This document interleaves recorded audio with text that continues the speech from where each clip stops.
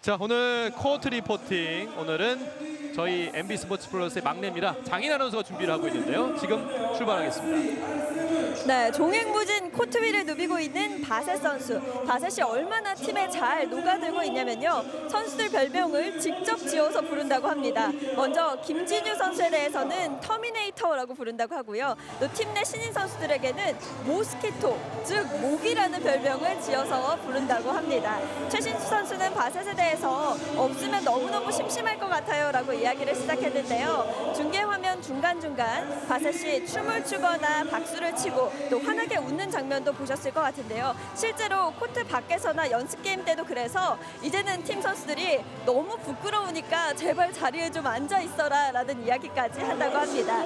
사실 조 잭슨 선수는 조금 다혈질에 경기 상황에 따라 up and down이 좀 있었던 선수라고 하는데요.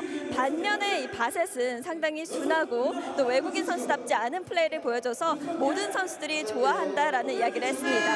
사실 많은 팬분들 아직 조 잭슨 선수를 그리워하고 계실 것도 같은데요. 어, 오리온 선수들만큼은 그렇지 않은 것 같죠? 네.